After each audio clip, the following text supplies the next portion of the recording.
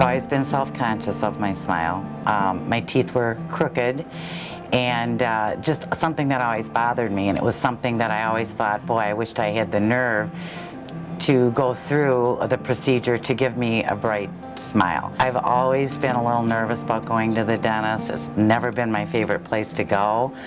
But um, when I heard about this dentistry, I thought I would give it a try. I felt so comfortable walking in the door. They treat you with such love here and care. When I came in, um, I was nervous, but I had sedation and was very relaxed.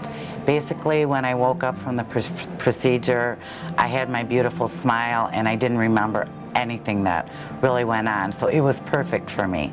The staff is friendly, they're caring, they really make you feel like they want to help you in whatever um, your needs are.